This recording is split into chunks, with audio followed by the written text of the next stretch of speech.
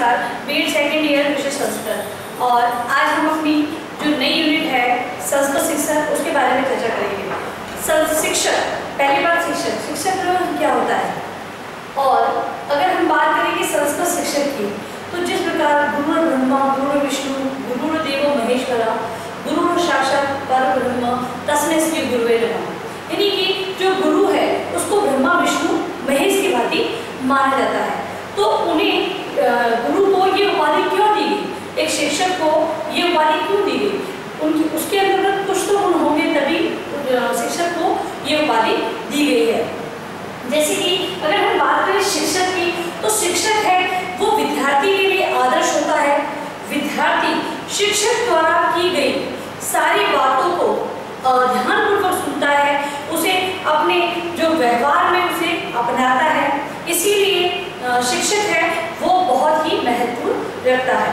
फिर बात करें अगर संस्कृत शिक्षक की तो संस्कृत शिक्षक कैसा होना चाहिए? उसमें किन गुणों का समावेश होना चाहिए?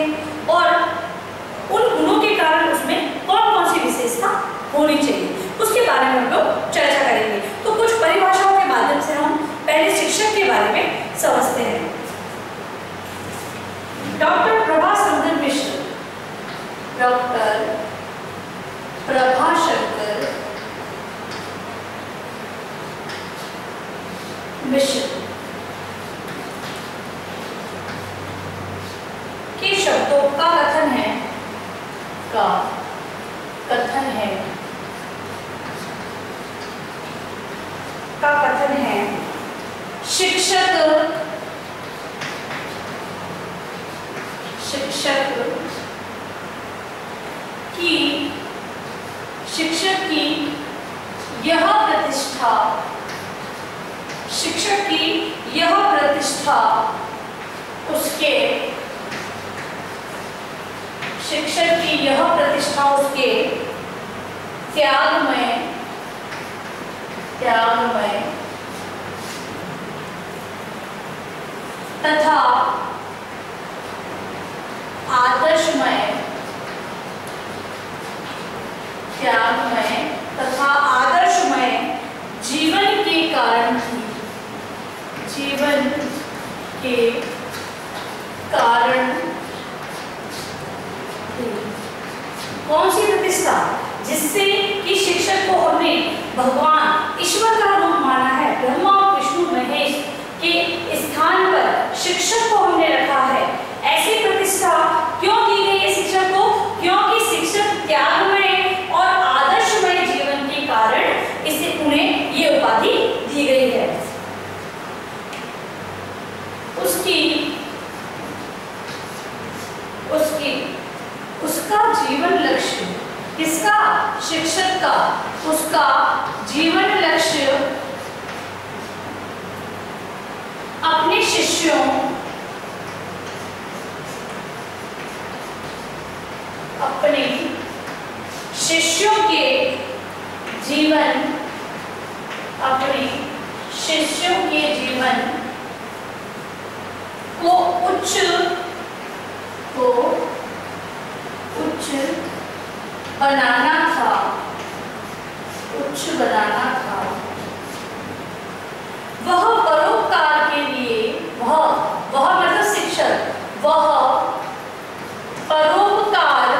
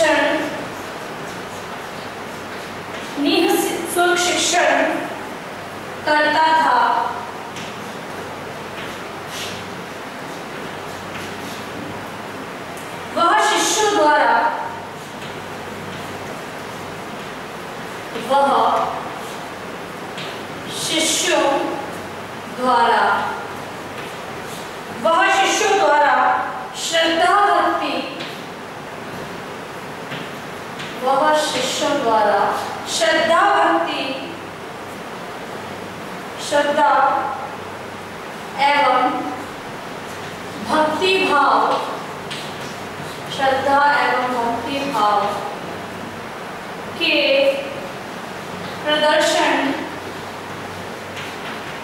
के प्रदर्शन से ही से ही संतुष्ट, से ही संतुष्ट रहता था।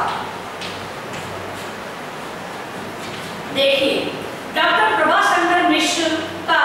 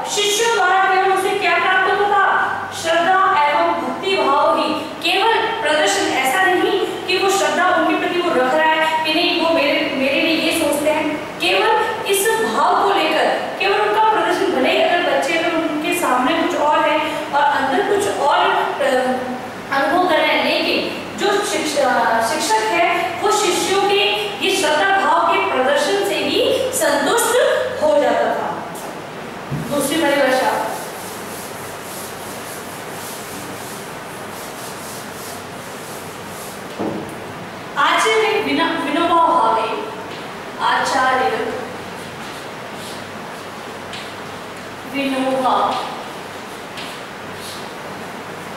आचार्य विनोबा भावे के शब्दों में के शब्दों में आचार्य विनोबा भावे ने क्या कहा है, गुरु अपने गुरु अपने शिष्यों के लिए, गुरु अपने शिष्यों के लिए।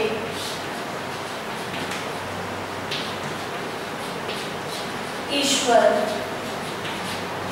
शिष्य, ईश्वर है और शिष्य अपने गुरु के लिए, शिष्य अपने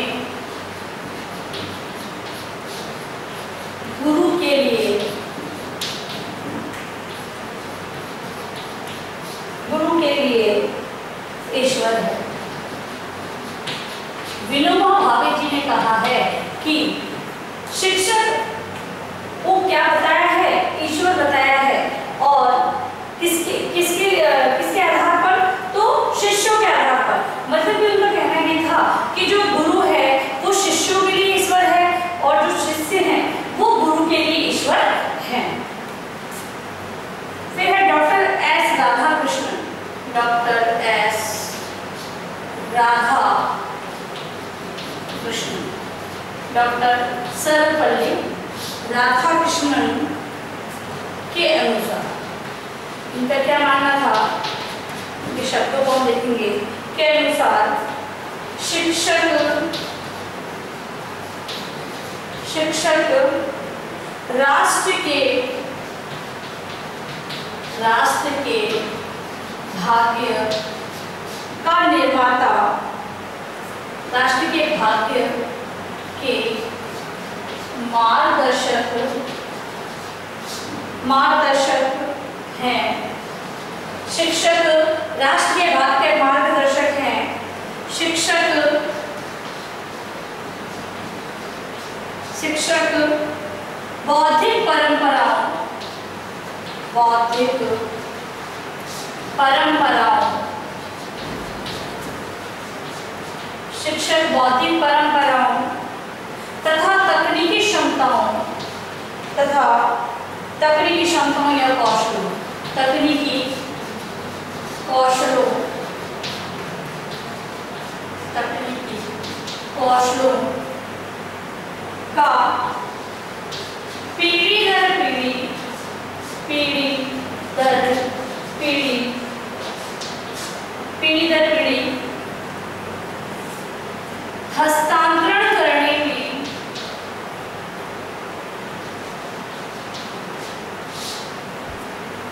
हस्तांतरण करने में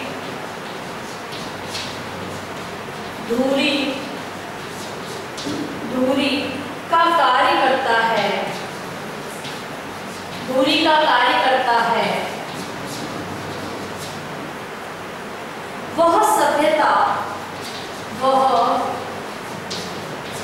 सभ्यता एवं संस्कृति एवं संस्कृति।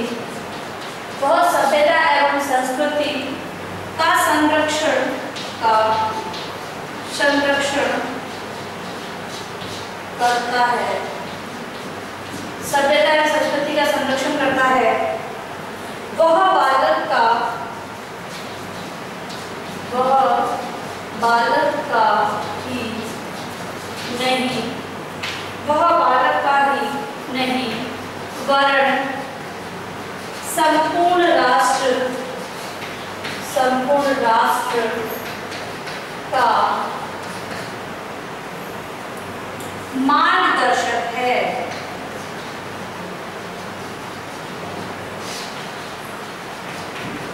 अब डॉक्टर सर्वपल्ली राधाकृष्णन है, उन्होंने क्या बताया है कि जो शिक्षक है वो राष्ट्र का मार्गदर्शक है। मार्गदर्शक मतलब कि जो राह दिखाने वाला, मार्ग मतलब राष्ट्र दर्शक मतलब दिखाने वाला, मार्ग को दिखाने वाला है। और शिक्षक है वो बौद्धिक परंपरा और तकनीकी कौशल को पीढ़ी दर पीढ़ी मतलब हमने सीखा, हमने हमारे गुरुओं से सीखा, अब हमने सीखकर हमारे शिष्यों को सिखाया, फिर वो अलग सिखाएँगे अपने शिष्यों को सिखाएँगे। तो इस प्रकार पीढ़ी दर पीढ़ी परंपराओं और तकनीकी कौशलों को पीढ़ी दर पीढ़ी हस्तांतरण करने की धूरी धूरी जिस पर कि कोई चीज़ लिखी होती है या फिर जिससे कि किसी कार्य, सारे कार्य जिसके माध्यम से होते हैं। वो कार्य करता है। वो वो सभ्यता एवं संस्कृति का संरक्षण, संरक्षक संरक्षण करता है मतलब कि जो सभ्यता और संस्कृति है। यदि अगर हम उनको बचाए नहीं रखेंगे, उसका दोहन करते रहेंगे, या फिर हम नई नई संस्कृति संस्कृति सभ्यताओं को अपनाने लगेंगे तो हमारी संस्कृति है वो विलुप्त हो जाएगी इसीलिए ये वो अपनी सभ्यता और संस्कृति को क्या करता है संरक्षण करता है वो बालक का ही नहीं संपूर्ण राष्ट्र का मार्गदर्शक है क्योंकि बालकों के माध्यम से अ, शिक्षक है वो संपूर्ण राष्ट्र के हित में कार्य कर रहा है तो राधा कृष्णन ने अगर कहें तो मार्गदर्शक के रूप में शिक्षक को बताया है अब है H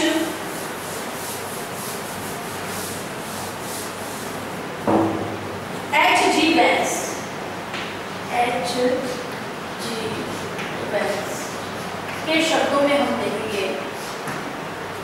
जी वेल्स के शब्दों में।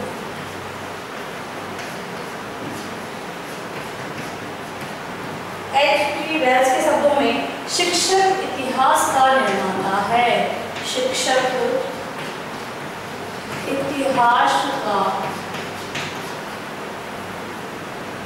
इतिहास का निर्माता है। इन्होंने क्या बताया है? शिक्षक को इतिहास का निर्माता बताया है। क्योंकि जो इतिहास हम पढ़ रहे हैं, जो इतिहास की छवि हमें देखने को या फिर किताबी या फिर कुछ संकलन के माध्यम से हमें देखने को मिल रही है, वो उसको संजो के रखना या फिर उसको अपने अस्तित्व में रखने का कार्य कौन कर रहा है तो वो शिक्षक कर रहे हैं इसीलिए उन्होंने क्या कहा है शिक्षक को इतिहास का निर्माता कहा है अब हम देखेंगे जैसे कि हमने देखा कि इनके मा- अ, इन परिभाषाओं के माध्यम से हमने देखा जो शिक्षक है वो क्या है शिक्षक जो है वो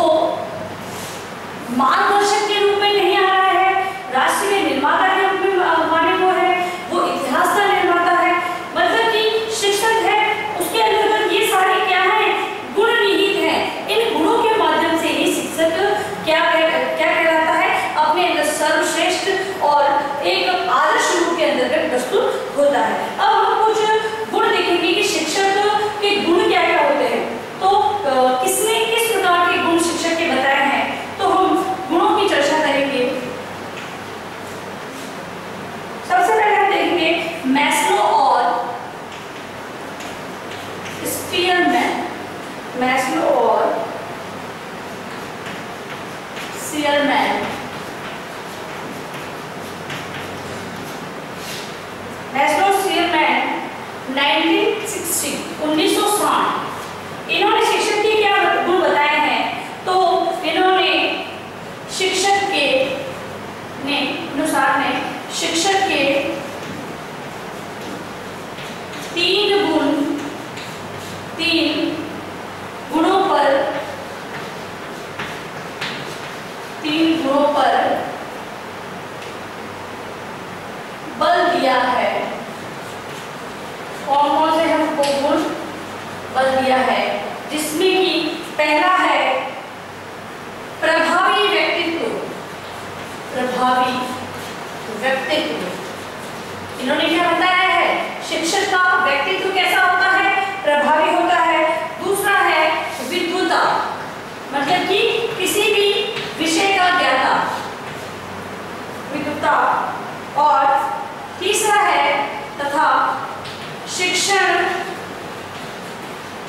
शिक्षण क्षमता इन्होंने शिक्षक के गुणों की चर्चा करते हुए बताया है कि शिक्षक में तीन गुण होते हैं वो प्रभावी व्यक्तित्व का होता है विद्युता उसके अंतर्गत होती है और शिक्षण क्षमता उसके अंतर्गत होती है फिर है टैलर के अनुसार टैलर 1962 ने ने पढ़ाने की क्षमता पढ़ाने की क्षमता को क्षमता को शिक्षक का गुण माना है। शिक्षक का गुण माना है। टैलर ने क्या कहा है? कि जिस शिक्षक में पढ़ाने की क्षमता होती है, वो उसका एक महत्वपूर्ण गुण है। फिर है गैज। गैज ने 1965 1965 ने शिक्षक के शिक्षक के पाँच गुण बताए हैं। पाँच गुण बताए हैं। जिसके अंतर्गत की पहला है, उत्साह। शिक्षा कैसा, शिक्षक कैसा होता है? उत्साही प्रवृत्ति का होता है। उसमें उत्साह की भावना होती है किसी भी कार्य को, किसी भी कार्य को करने में वो नीरसता न दिखाकर उत्साह के भाव से वो कार्य करता है उत्साह बौद्धिक ज्ञान बौद्धिक ज्ञान। तीसरा अनुशासन एवं क्रमबद्धता अनुशासन एवं क्रमबद्धता क्रमबद्धता चौथा है विद्यार्थी सहयोग विद्यार्थी सहयोग किसी भी कार्य को विद्यार्थियों की सहयोग देकर करना और पांचवा है समस्या समाधान समस्या समाधान सहयोग लेते हुए समस्या का पता लगाता है शिक्षक और फिर उसका क्या करता है समाधान करता है इसके अलावा आशु बैल आशु बैल ने जो बताए हैं।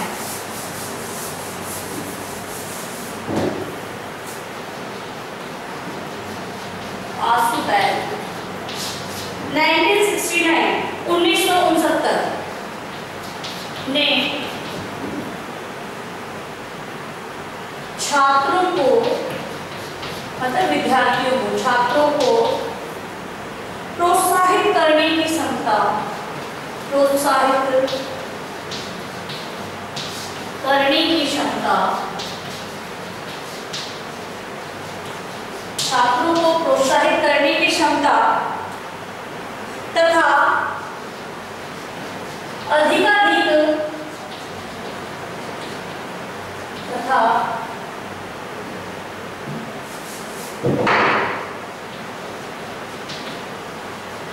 अधिकाधिक तथा अधिकाधिक निर्देशित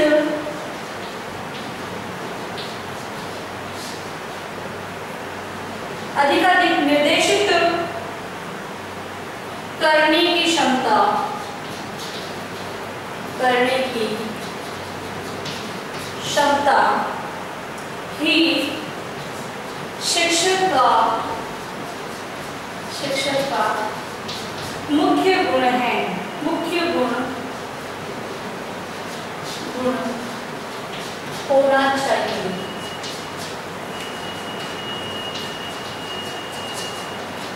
तो आँसू बहन ने क्या बताया है कि छात्रों को प्रोत्साहित मतलब कि प्रोत्साहन के माध्यम से अधिकाधिक निर्देशित करना ही शिक्षक का महत्वपूर्ण गुण या विशेष गुण होना चाहिए अब इन कथनों जो हमने कथन पढ़े इसके माध्यम से शिक्षक की जो विशेषताएँ सामने आती है वो कुछ तो सामान्य है और कुछ विशिष्ट गुण हमें देखने को मिलते हैं तो विद्वानों के मत अनुसार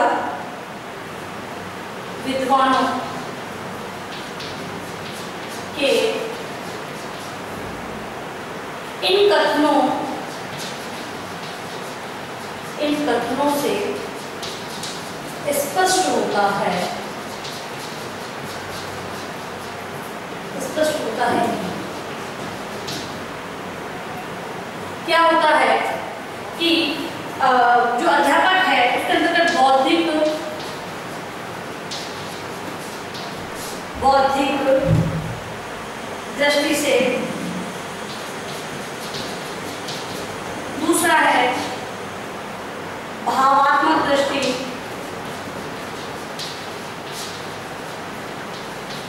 और तीसरा है कुशलताओं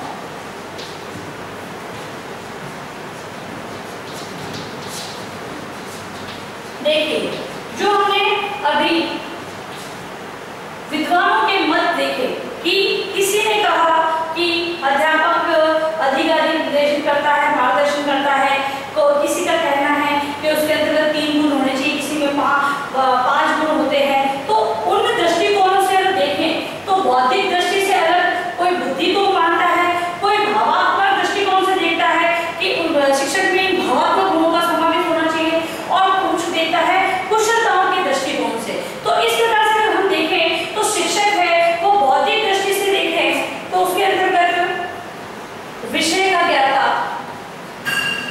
विषय का ज्ञाता विषय का ज्ञाता होगा शिक्षक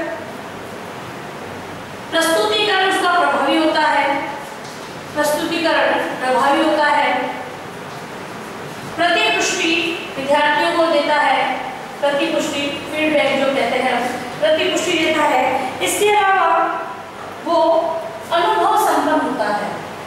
अनुभव उसके अंतर्गत निहित होता है। अब हम देखते हैं भावात्मक दृष्टि से। तो भावात्मक दृष्टि से छात्र प्रिय मतलब विद्यार्थियों को प्रिय भाव भाव से वो बात करे स्पष्ट कहे स्पष्ट कहने वाला निष्पक्ष हो किसी को पक्ष किसी का पक्ष लेके न कहे और इसके अलावा व्यवहार कुशल हो तो भावात्मक दृष्टि से अगर देखें हम तो अध्यापक छात्र प्रिय हो स्पष्ट हो निष्पक्ष हो और व्यवहार कुशल होना चाहिए कुशलताओं की अगर हम बात करें तो अध्यापन क्षमता अध्यापन क्षमता रखने वाला हो रखने वाला हो तो आज का हमारा ये टॉपिक यही खत्म होता है ठीक है तो कुशलताओं की दृष्टि से वो अध्यापन की क्षमता रखने वाला होना चाहिए। इस प्रकार से जो जो विद्वानों ने बताया है, उसी के आधार पर हमने स्पष्ट किया, बौद्धिक दृष्टि, भावात्मक दृष्टि और कुशलताओं की दृष्टि। अब आप गृह कार्य प्रश्न लिखेंगे।